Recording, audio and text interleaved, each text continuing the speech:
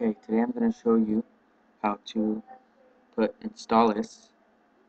you have there, on your iDevice. First you want to go to Manage, Sources here, Edit, Add.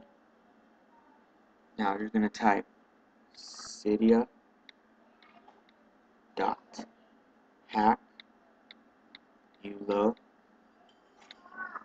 dot us slash. Okay, now you're going to click add source. I'm not going to add it because I already have it.